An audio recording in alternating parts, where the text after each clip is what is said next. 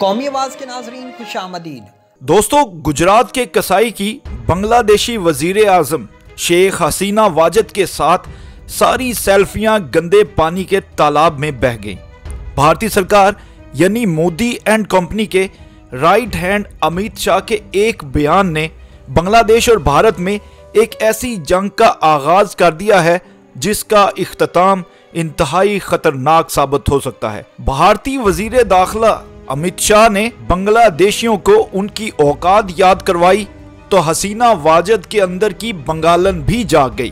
दोस्तों, आज की वीडियो में तीन इंतहाई अहम तरीन वाकयात के बारे में बात करेंगे, जो बैन अवी सतह पर रूनमा हुए हैं, जिनमें बांग्लादेश भारत के इंतहाई खराब होते ताल्लुकात, ईरानी सुप्रीम लीडर का अमरीकी कयादत को दबंग जवाब, और आखिर में अफ़गानिस्तान में नेटो और अमरीकी अफवाज के हवाले से तहलका खेज डेवलपमेंट्स भी शामिल हैं। दोस्तों वीडियो की तफसील में आगे बढ़ने से कबल अगर आपने कौमी आवाज़ को अभी तक सब्सक्राइब नहीं किया तो इसे सब्सक्राइब और बेल आइकॉन पर क्लिक ज़रूर करें क्योंकि ये मेरी और आपकी नहीं बल्कि पूरी कौम की आवाज़ है। दोस्तों हिंदुत्वा के पैरोकार किसी के भी सगे नहीं हैं। सबसे पहला और बड़ा धोखा उन्नीस में सिखों के साथ किया गया था।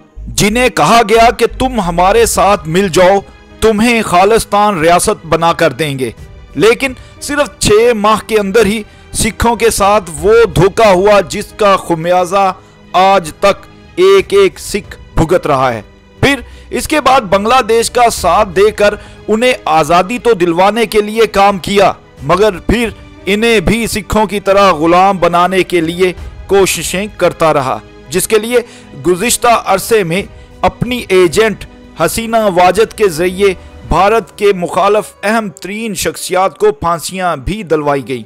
मगर हिंदुत्वा के पैरोकार वो दो मुँह वाले सांप हैं जिन्हें हर सूरत डंग मारने की आदत है। पिछले दिनों मोदी के दौरे बांग्लादेश में, जहाँ सारे ही बांग्लादेश में मोदी के खिलाफ हंगामे खड़े हुए, हंगामे हुए, वहीं हसीना वाजद ये समझ रही थी कि मोदी ही उनका अंदाता है। मगर चंद दिन बाद ही मोदी के राइट हैंड अमित शाह ने हसीना वाजद समेत तमाम बंगालियों को उनकी औकात याद करवा दी है। अमित शाह ने हसीना वाजद को ये बता दिया है कि तुम गंदी नाली का कीड़ा थी और ऐसे कीड़ों को हम अपने साथ नहीं रखते। भारतीय वज़ीर दाखिला अमित शाह ने बंगालियों को उनकी औकात याद करवाते हुए कहा कि बांग्लादेश के वो गरीब लोग, यानी बंगाली जिन्हें अपने मुल्क में खाने को कुछ नहीं मिलता भाग कर भारत आ जाते हैं। उनका कहना था कि ये बंगाली गंदी नाली के कीड़े हैं। अमित शाह के इस बयान के बाद बंगालियों का पारा भी हाई हो गया है। यही नहीं, बांग्लादेश के वज़ीर खारजा ने अमित शाह को उनकी औकात याद करवाने की कोशिश भी की है। बांग्लादेश के वज़ीर खारजा ए के अब्दुल मोमिन ने भारत के वज़ीर दाखिला अमित शाह के बांग्लादेशी अवाम से मुतलक बयान को नाकबले कबूल करार देते हुए सख्त रद्द अमल का इजहार किया है। उनका कहना था कि अमित शाह जैसे इंतहाई जाहिल किस्म के इंसान को इतनी मालूम होनी चाहिए कि कौन क्या है। उनका कहना था कि अमित शाह की मालूम वज़ीर दाखिला होते हुए भी उनकी अकल की तरह महदूद हैं।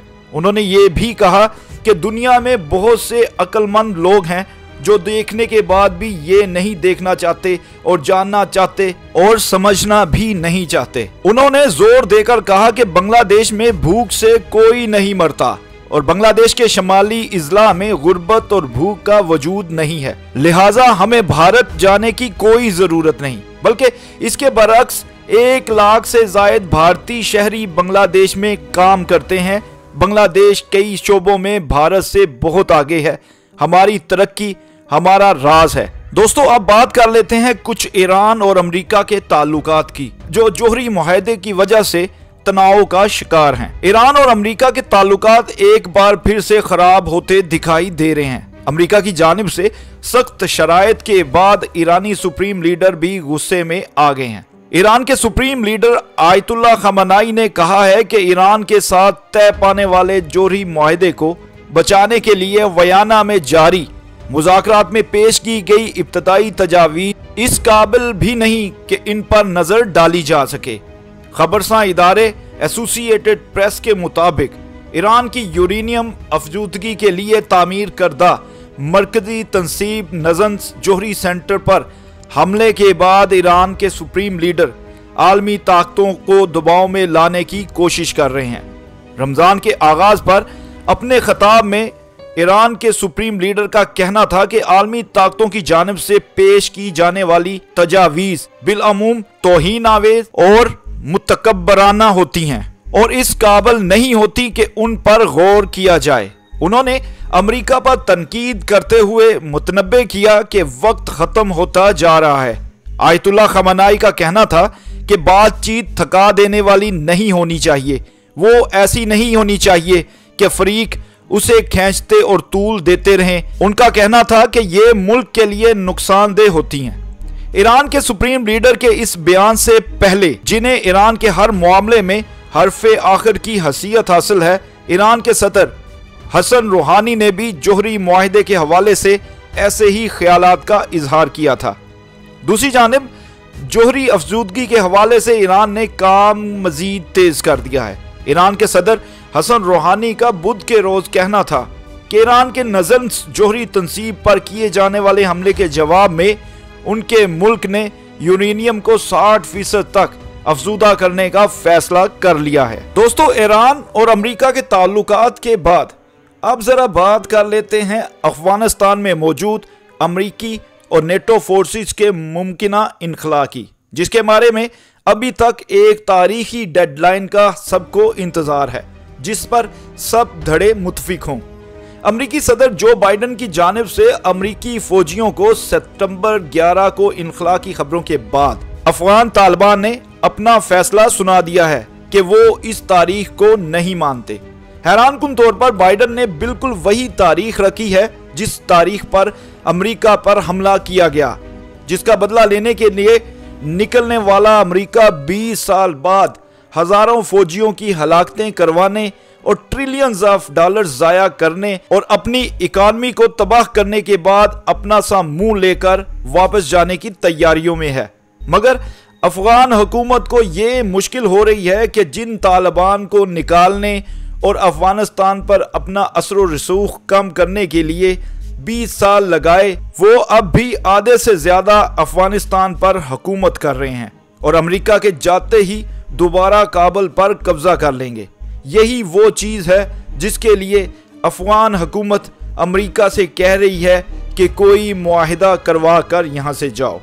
दोस्तों, वक्त एक सा नहीं रहता। तालिबान, जिन्हें आँखों पर पट्टियाँ बांधकर हिरासत में लिया गया था, वही अब अमेरिका की आँखों में आँखें डालकर इसको इसकी औकात याद करवा रहे हैं। सुपर पावर एक छोटे से मुल्क के छोटे से ग्रुप को 20 साल तक शिकस्त देने का सोचती रही, लेकिन फिर नाकामी उसका भी उसी तरह मुकद्दर बनी जिस तरह बाकी ताकतों का था। अमेरिका की फौज मुमकिन इनखला की खबरों के बाद नेटो फोर्सेस ने भी अफगान हुकूमत को झटका दे दिया है। मगरबी मुल्कों के अस्करी इतिहाद नेटो ने ऐलान किया है कि अफ़गानिस्तान से तमाम नेटो फौज वापस बुला ली जाएगी। और फौजियों की वापसी का आगाज़ यकम मई से शुरू होगा। नेटो के सरबराह ने ये ऐलान बुध को अमेरिका के वज़ीर खारजा और वज़ीर दिफा से मुलाकात के बाद मुश्तरका प्रेस कॉन्फ्रेंस के दौरान किया। बेल्जियम के दारुल हुकूमत बर्सल्स में, नेटो हेडक्वार्टर्स में प्रेस कॉन्फ्रेंस के दौरान नेटो के सरबराह ने कहा कि अफ़गानिस्तान से तकरीबन सात हज़ार नेटो फौजी वापस आएँगे और पूरा फौजी इनखला चंद माह के दौरान मुकम्मल हो जाएगा। इससे कबल अमेरिका के सदर जो बाइडन ने भी बुध को कौम से खिताब के दौरान अफ़गानिस्तान से फौज की वापसी का ऐलान कर दिया था। अमरीकी मनसूबे के मुताबिक अफ़गानिस्तान में मौजूद तमाम फौजियों को 11 सितंबर तक वापस बुला लिया जाएगा। दोस्तों, ऐसी मजीद मालूमती वीडियोस देखने के लिए कौमी आवाज़ को सब्सक्राइब और बेल आइकॉन पर क्लिक ज़रूर करें, क्योंकि ये मेरी और आपकी नहीं, बल्कि पूरी कौम की आवाज़ है।